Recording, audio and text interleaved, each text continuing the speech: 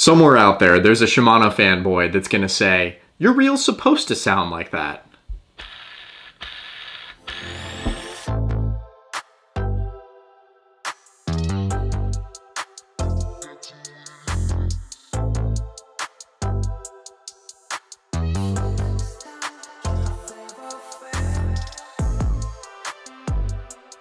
The Shimano Twin Power SW probably my most requested reel review in the past six months. Today we're going to be tearing this guy down and finding out is it a slightly watered down version of the Stella SW or is it a slightly beefed up version of the Saragosa SW. At 550 to $650 USD, it better bring a lot to the table. This isn't a typical review for me because I don't personally own this reel and I've only fished it a handful of times. This specific reel is on loan from my boy Aaron who absolutely abused it for the past year about four to five times a week. So it's definitely got plenty of usage. I do, however, have extensive experience with the Shimano Saragosa as well as the Stella SW. So that those reels sharing 90, 95, 99% of the parts of this reel, I do have a good idea of how it's gonna perform on the water and I can tell you guys exactly what's going on inside. Listen to this. You guys hear that? That is, the bearing in the handle has gone bad.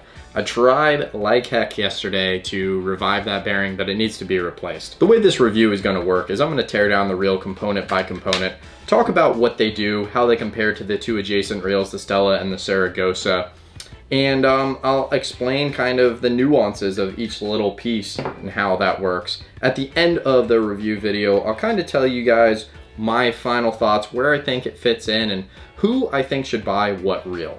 Just one little cap here on this guy, then one screw, a little Phillips head. And you're gonna see a lot of green grease coming out of this reel today. That's because yesterday I tore it down, clean and greased it, and I tend to over grease my reels.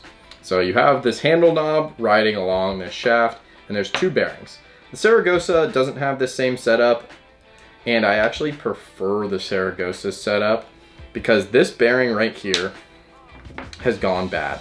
This bearing here sits on the handle shaft and there's no real protection for it from the elements. The salt, salt water kind of gets in here and even though it's a shielded bearing, still has caused it to get very, very loud. It still spins fine, but it's very loud and kind of annoying and definitely not what you want in a premium saltwater spinner that's supposed to be sealed off against the elements.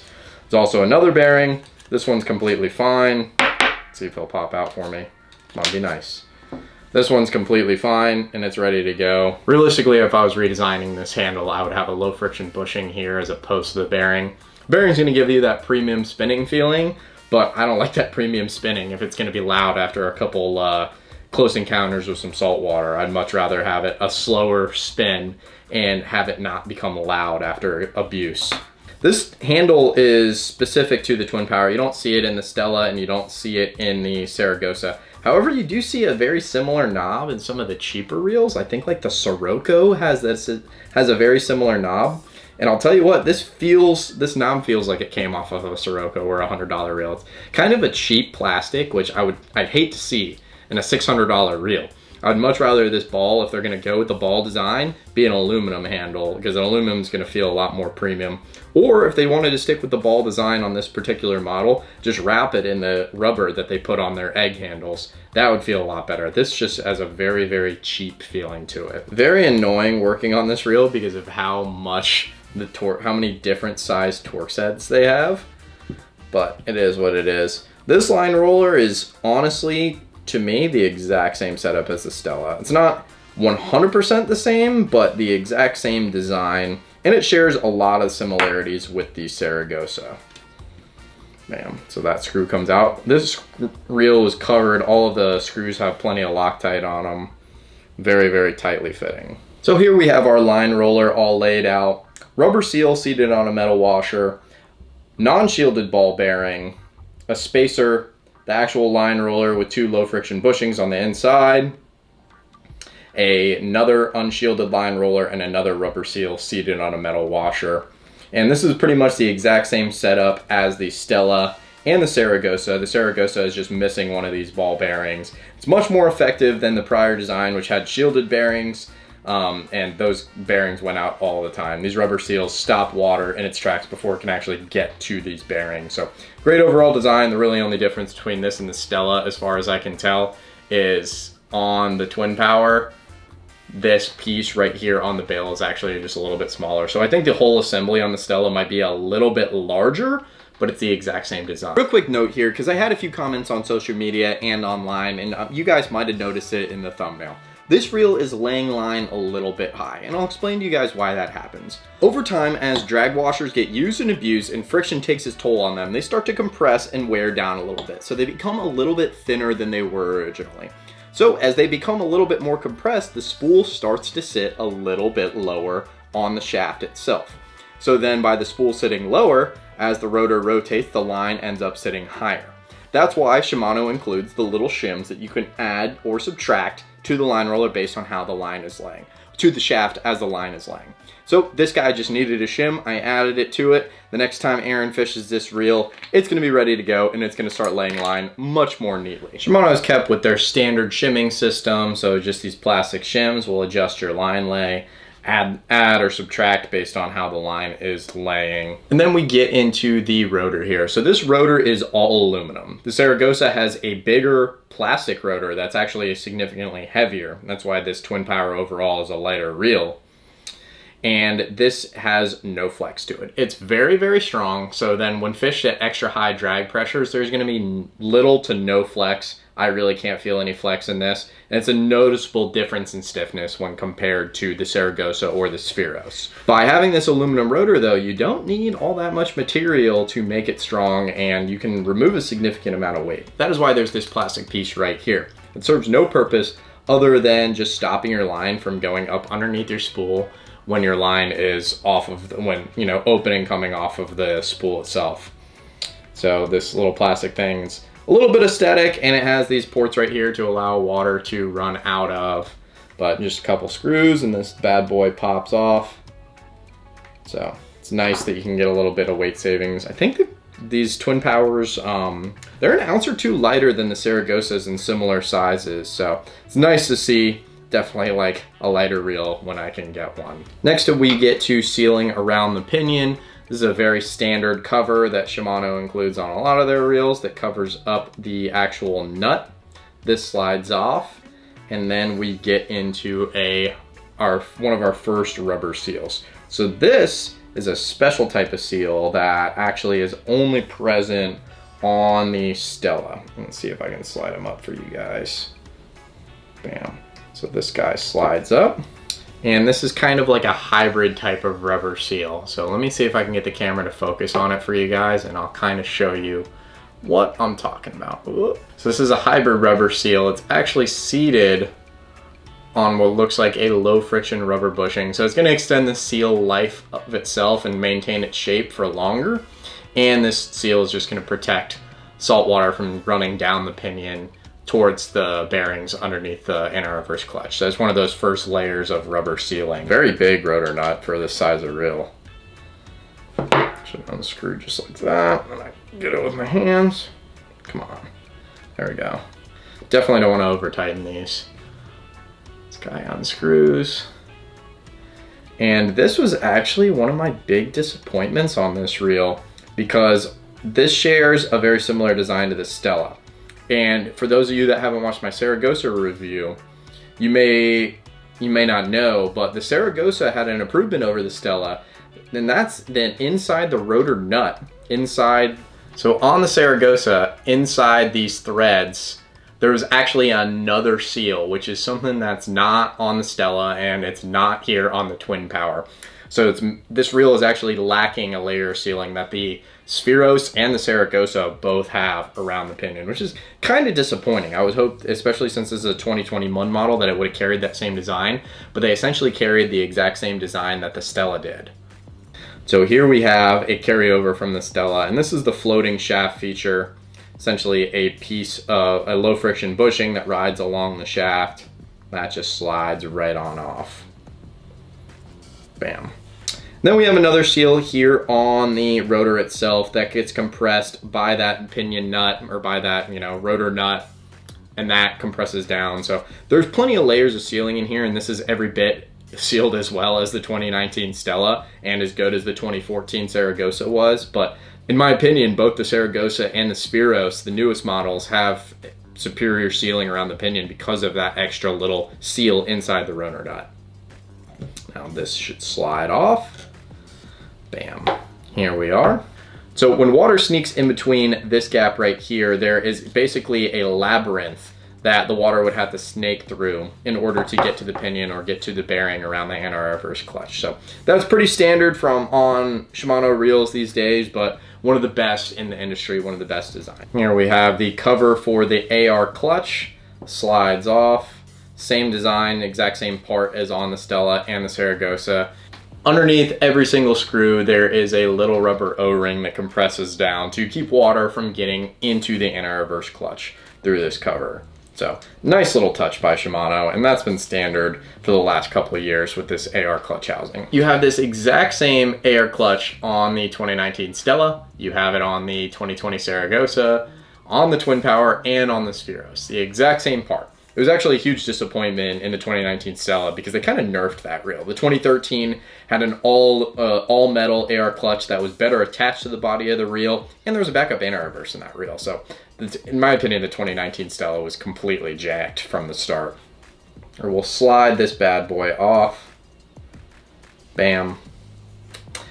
This AR clutch seats very similarly in the Twin Power as it does in the Stella. There are two little rubber, two little plastic notches that with a male end that fit into the female end here in the reel itself. Bam, should be able to unseat the pinion and the main bearing here slide off the shaft. Same brass pinion that you find in the Stella and the Saragosa. One big bearing on there that spins beautifully. These bearings don't go out like they used to just because of how much Shimano has improved their sealing over the years. But this is the bearing that would worry me in this reel if it was dunked multiple times when compared to a Saragosa, just because of the better sealing on the Saragosa. Now, I get to change the head of my screwdriver 12 times to unscrew this bad boy. This has become standard in Shimano's. This is just the rotor brake here. This slides off and then exposes more screws. And we have another little O-ring here that also comes off. We'll slide this reel boot off. And Shimano changed the position of the holes on here to allow water to drain out more effectively.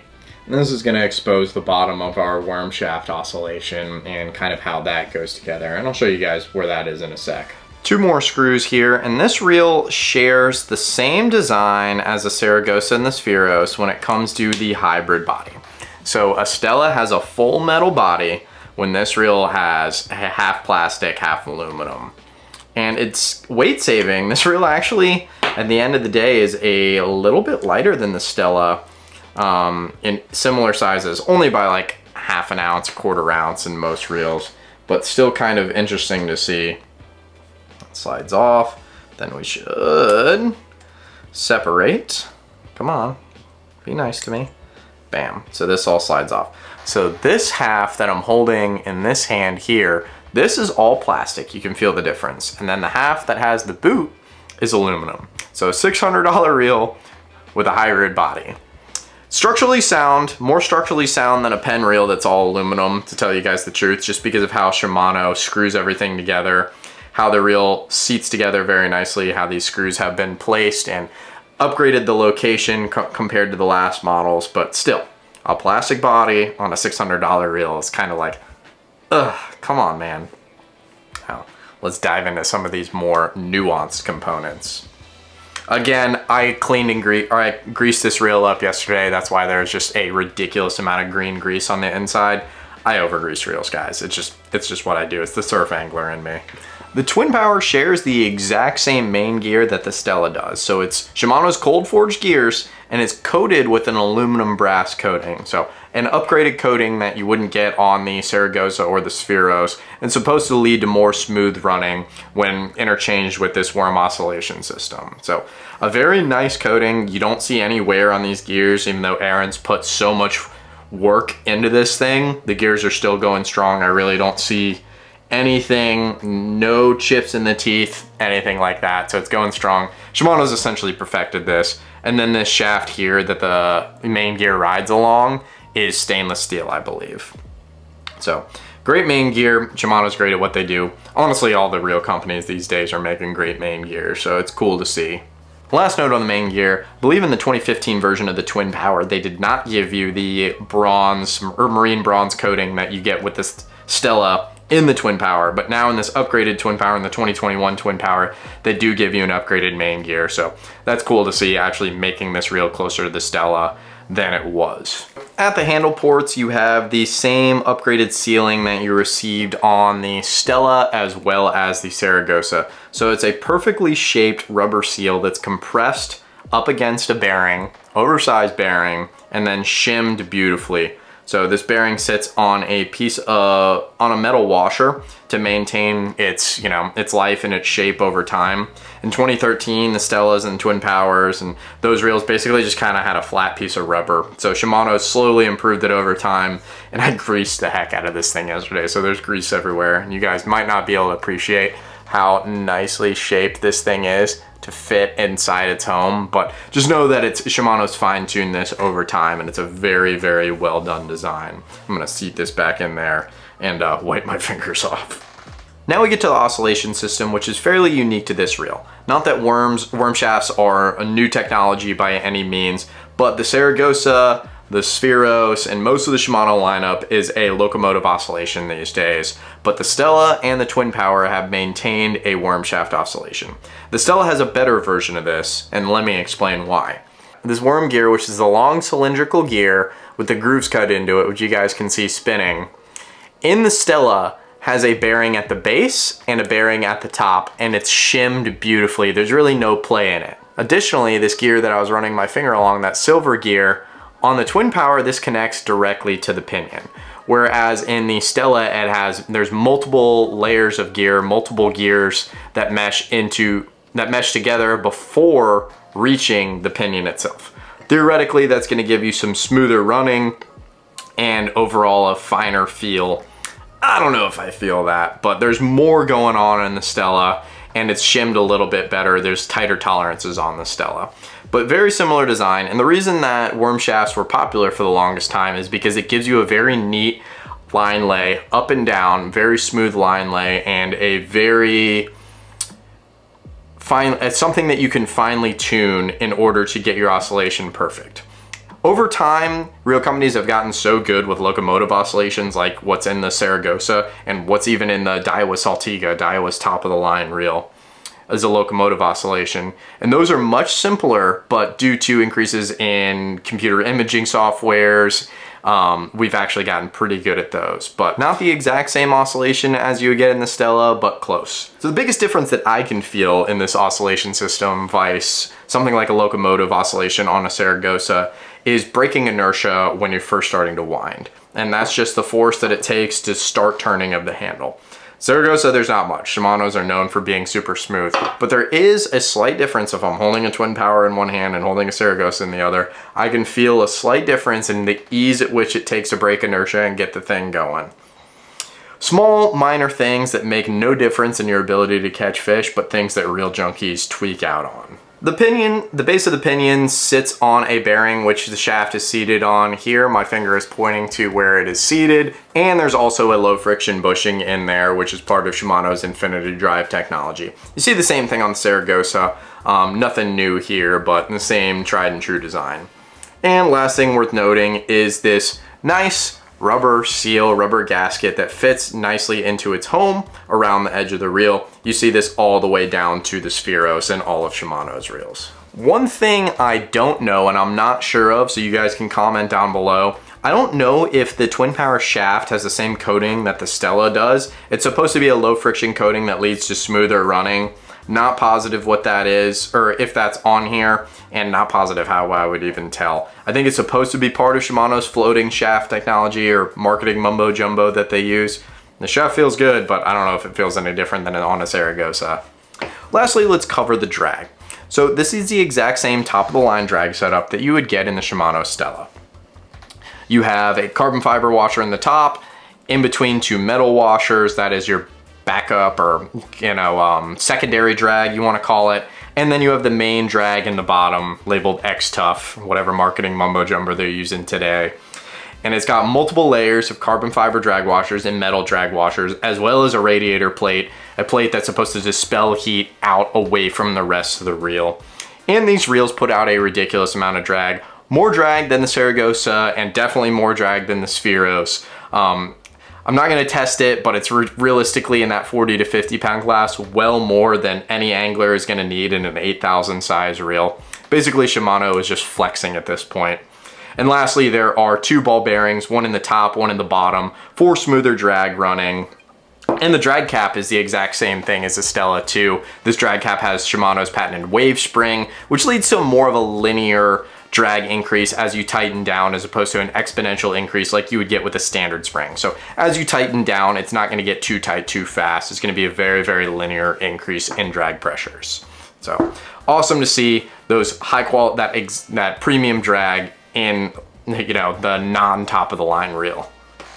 Okay, now that I got this reel completely apart, I'm gonna put it back together and then give you guys my assessments on comparisons between this, the Saragosa, and Stella. I'm gonna hit you guys with some rapid fire differences between the Stella and the Twin Power that actually matter to me. So the Stella has a full premium aluminum alloy body, where the Twin Power has the hybrid aluminum and plastic body. The Stella has ball bearings around the worm shaft and it also has another set of intermediate gears in between the pinion and the worm shaft. So that just leads to a silentler, sil silenter, easier operation that the Twin Power just doesn't have. Additionally, the worm shaft oscillation in the Stella is shimmed and has finer tolerances than you get in the Twin Power. Lastly, the Twin Power is slightly lighter than the Stella. Now I'm talking quarter to half an ounce in most sizes, but that's just due to the lack of the aluminum side plate as well as the couple bearings that the Twin Power doesn't have that the Stella does. Now rapid fire difference between the Twin Power and the Gosa, differences that matter to me. So the Twin Power has the full aluminum rotor, where the Saragosa has the heavier, bulkier plastic one. The Twin Power has two ball bearings in the line roller, whereas the Saragosa only has one. The Twin Power has a worm oscillation system as opposed to the locomotive oscillation that you find on the Saragosa, and that worm oscillation is a slightly silenter oscillation system as well as breaking inertia is slightly easier when compared to the locomotive oscillation of the Saragosa. Twin Power has a much more capable drag, especially when fished at higher drag pressures over 25 to 30 pounds. And lastly, the Twin Power is lighter than the Saragosa by an ounce or two in almost all size classes. That's because of the smaller, more compact aluminum rotor. My own arbitrary ranking of where Shimano's reels have kind of ranked over the years. So in the 2013 Stella, on a 0 to 100 scale, I'd be at like a 93. The 14 Gosa, I'd be somewhere around like an 81. And the 15 twin power, I'd be somewhere around like an 86 or an 87. So I'd say that um, that 14 or that 15 twin power was probably closer to the Gosa than it was to the Stella.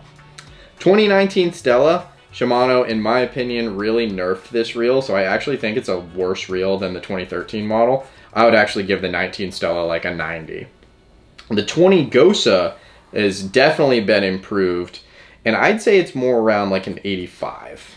So significantly improved over the 2014. And that 21 twin power, I would honestly put that at almost as good as the Stella, something like an 88. 88. So just a completely arbitrary Ryan Morie ranking of these reels, but I think this reel is very, very close to the Stella and doesn't present many differences that would make me want to buy a Stella over this. And truth be told, guys, I would never want to buy the 19 Stella. So the question at the end of the day, the question that everyone's going to ask, is the Twin Power worth the money? For me, no reels are ever going to be a good value when they're above that $300 mark. I really do believe those $300 reels like the Saragosa and even like the 150 to $200 Spheros are where you find most of your value. And those are going to be the reels that I recommend to anglers 90% of the time. However, I can see a need for this reel. I can see a niche where this reel would fit in. Honestly, for guys that love a pretty reel, because I haven't said it, but this is the most gorgeous spinning reel on the market right now. I love the look of it, and it, it's just absolutely beautiful. Shimano did an immaculate job with the aesthetics of it.